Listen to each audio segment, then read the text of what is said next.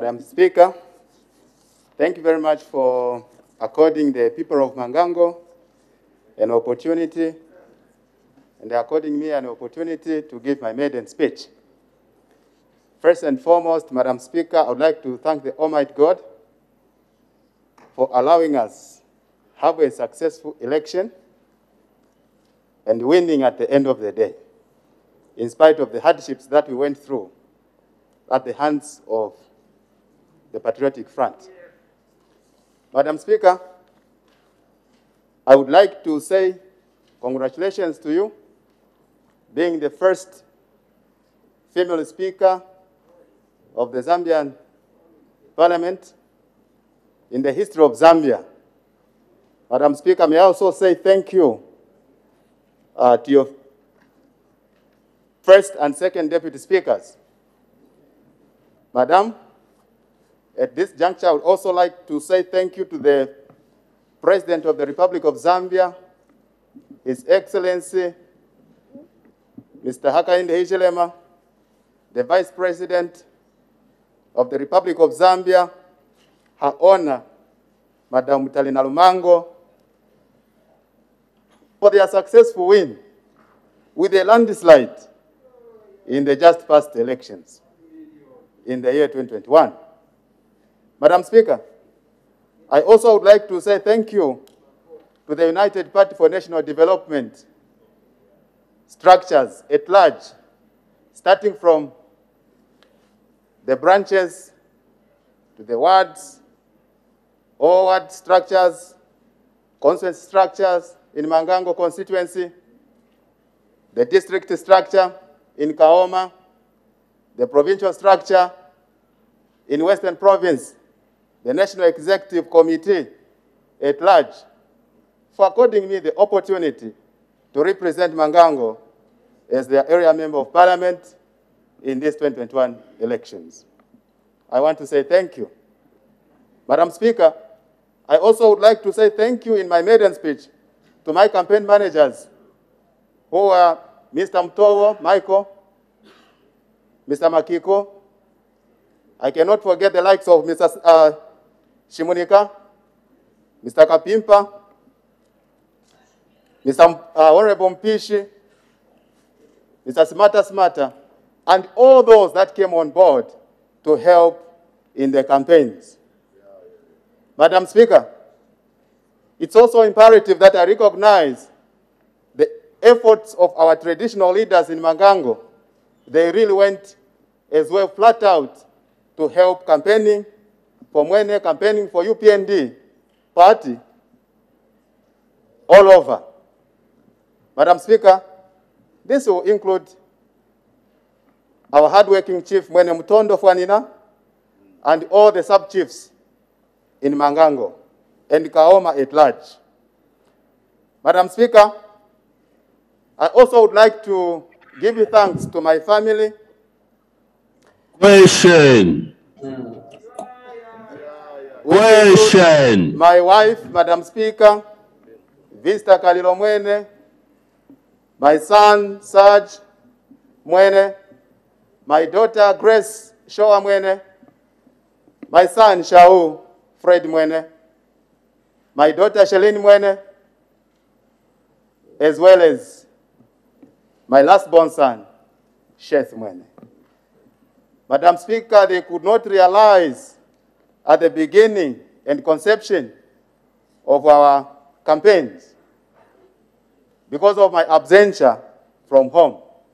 But later, they came to understand it, that campaign is going out in the constituency and talking, requesting people to give us a vote as we're selling ourselves to the people as a party at large.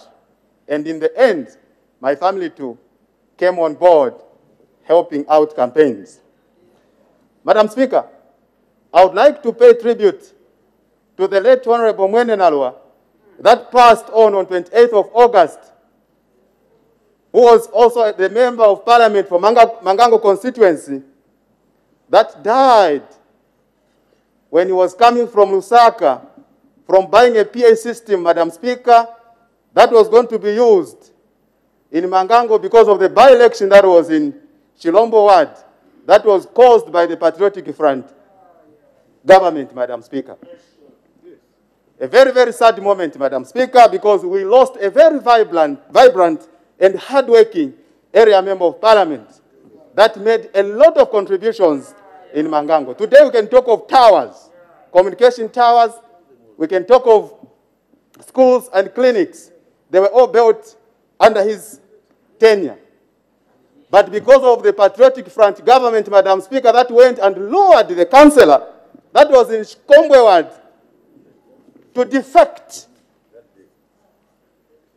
That's the reason to why that by-election came about. Madam Speaker, and in the process, my late elder brother passed on.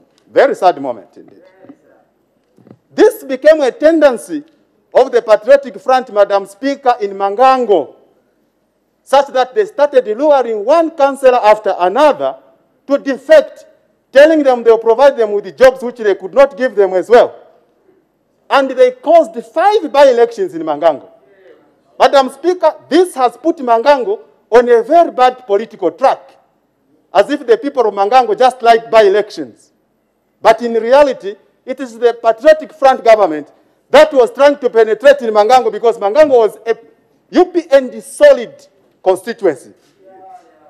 Madam Speaker, because of this, at this time, the people of Mangango came to realize that the Patriotic Front had nothing good for them because they could come at each and every by-election, talk about similar things that they failed to deliver. Issues of roads, issues, Madam Speaker, of schools, issues, Madam Speaker, of the Nyango Training Institute there that they are going to be recruiting. Mangango people as well, but they could not do that. Madam Speaker, that is the reason to why the people of Mangango this time decided to make a very serious shift from the Patriotic Front government to the UPND government. Madam Speaker, in Mangango we had a lot of negative activities that were happening, beatings, and so on. And deaths were caused because of the Patriotic Front government, Madam Speaker. We can talk about various activities, Madam Speaker, that were so negative that the Patriotic Front government performed in Mangango, and hence the people of Mangango lost confidence in them.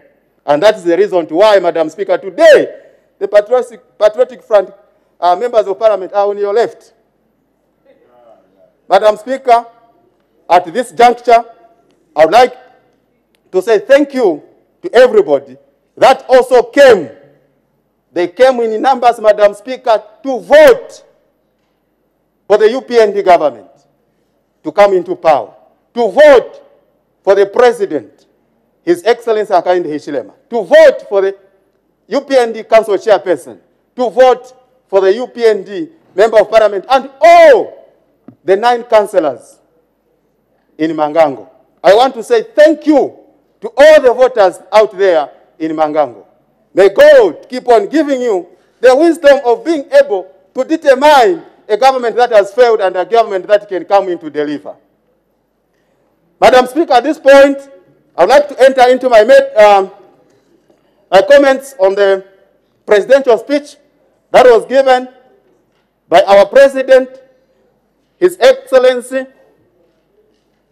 the President of the Republic of Zambia, Hakainde Hichilema, on the 10th of uh, August, I mean 10th of September 2021. Madam Speaker, I stand strongly supporting this presidential speech because it is a speech that is sharp, that has got a proper and clear direction to the people of Zambia. It is a speech, Madam Speaker, that is giving hope to all the Zambians because the previous government, Madam Speaker, had lost direction in leading this country. Madam Speaker, on page 13, the President of the Republic of Zambia talked about job creation, which I feel is a very big need in Zambia because for everybody to be able to sustain they need a job. The previous government, Madam Speaker, was not able to attend this. And our president, President Hakainde Hichilema, is promising us this. And this is what is needed as well in Mangango. Madam Speaker, on job creation, the president is going to come up with a mechanism where all the youths, that is male and female, will be able to have jobs in Zambia. Madam Speaker, not only that, on page 17, the President of the Republic of Zambia talked about creating a conducive environment for businesses. And this is what is needed in Zambia, Madam Speaker. Madam Speaker, for a country to develop, it needs businessmen that will be able to invest in the economy. And because of that, another portion of a job creation will be created to the Zambians.